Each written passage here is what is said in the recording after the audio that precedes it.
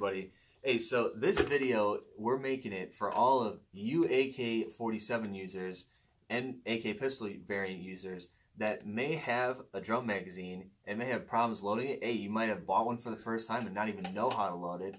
Well, let's just say that we forgot how to load this. We used this before and it's been a while, so we had to kind of refigure it out.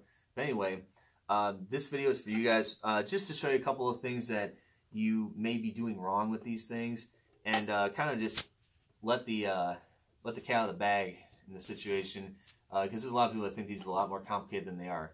So anyway, you want to come in a little bit closer. We'll go ahead and show you how this works.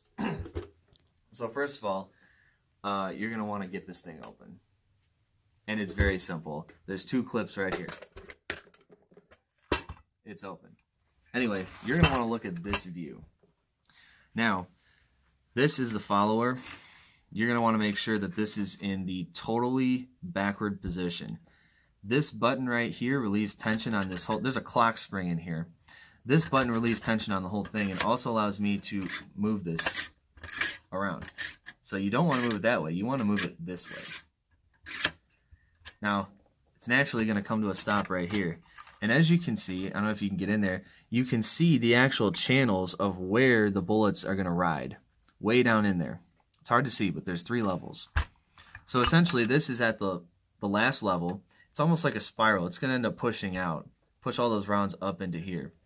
So next what we need to do is find our ammunition.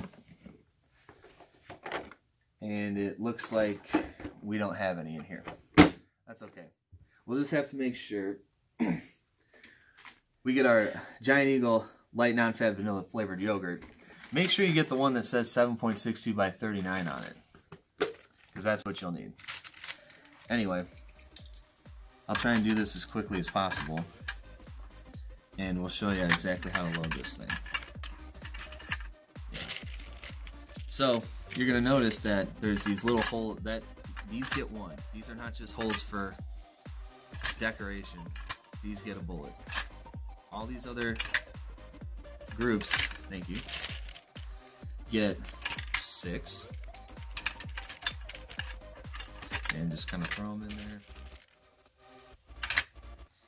And we'll continue loading this thing up.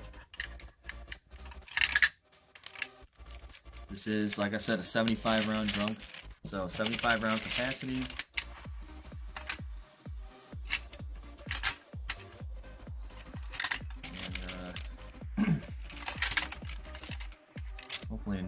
Have this all done. I'm sure there's a quicker way to do this.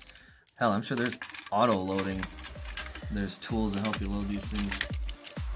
Gotta be. I haven't seen one myself, I'm sure they're out there. There's one thing that gun owners don't like doing is sitting there having to reload magazines and stuff over and over again.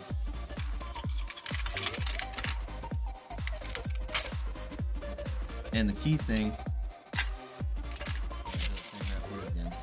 Anyway, the key thing is, where the follower is, you're only going to be able to fit four in. That's okay. And just for the sake of this, I'm actually not going to fill this one up all the way. So, anyway,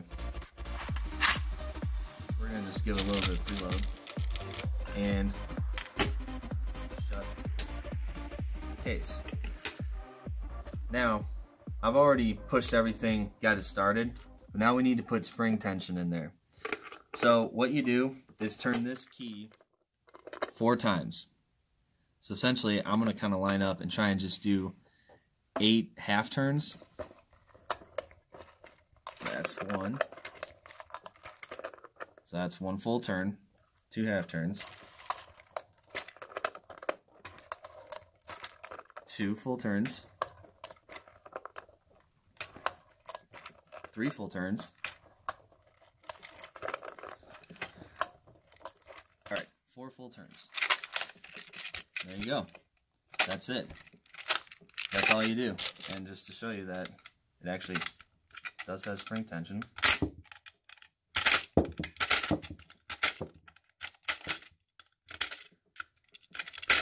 So they'll all come out.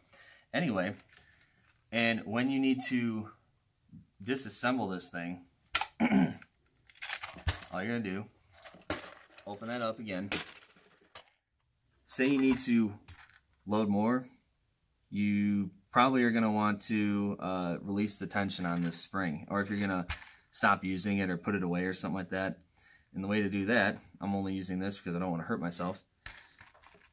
Press down on this, which is actually really difficult to do.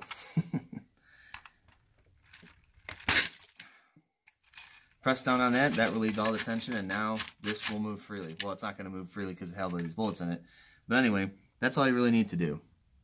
And the problem is, a lot of guys may not understand that that follower needs to be pretty much in this spot uh, when you're going to go to load. Now, also, I'm actually going to take a couple of these out and show you the problem that we actually had with ours. We thought it was broken. We thought there was something terribly wrong. And there actually wasn't. So anyway, right here, uh, actually, you know what? Let me take these out. Let me take these out.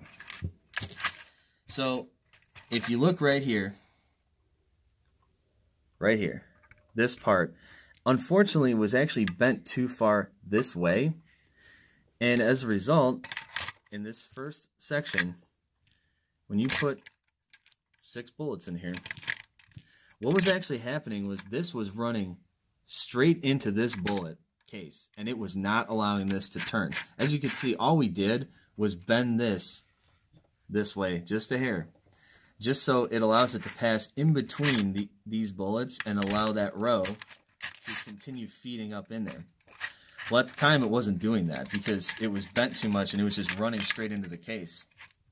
And that was causing a big problem because it was also causing our follower to not end up where we needed it to be. So once we kind of figured that out, all we did was bend it and then just made sure we unwound the, follower to where it needed to be in its um, position over here, which when you load it, this follower will always want to be right here. You always have a group of four that's right after the actual top of the magazine. And that's how you want to load it. So always remember, check and see what is actually happening in this thing because you don't want to just start pushing things and bashing things around because you probably, who knows how that thing got bent. But anyway, that's how ours got bent. So just wanted to give you a uh, little overview of how to do this once again. Uh, it's not difficult, but hey, you know, like we ran into a problem with this thing. We had no clue what it was. We just were using it one day. It wasn't working. Um, anyway, that's really it. Just want to go over that. I mean, sure, there's other things that can happen with these. Just keep your eyes peeled uh, when you're dealing with issues. And yeah, I mean, if you run into an issue similar to what we run into, where it's just not allowing you to turn that um, clocking mechanism, might be that something's bent in there and it's preventing it from doing so. So anyway, that's it. Hey, if you like watching stuff like this and you want to see actual gun reviews, uh, more information about certain guns, or you have any questions about any of the reviews we did, uh, products we've looked at, or what we did today, feel free to comment. And if you like this kind of stuff, also please subscribe to the channel. It really helps us out. Hey, appreciate it. Have a nice day.